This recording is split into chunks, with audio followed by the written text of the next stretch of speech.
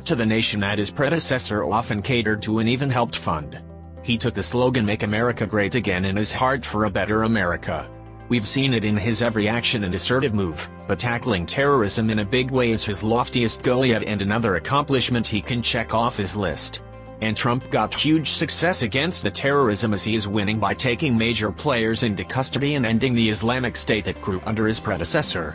Last month one of the best successful American presidents, Trump, made a major capture and now just two weeks later he's done it again.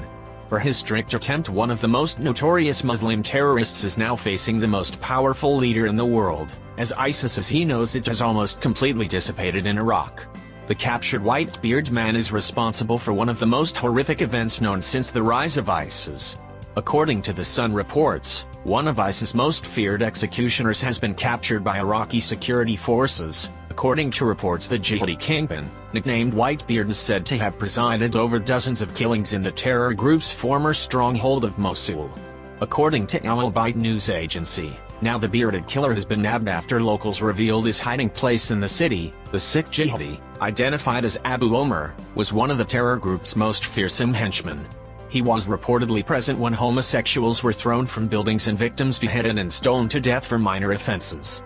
The evil terror boss is allegedly seen in several sick execution videos filmed before the group's self-proclaimed caliphate in Syria and Iraq collapsed.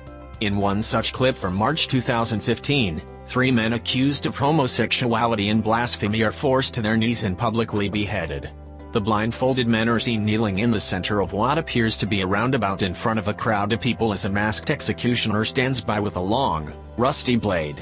An elderly man that appears to be Omar addresses the crowd as the executioner positions his sword above the men's heads in the unnamed city in northern Iraq.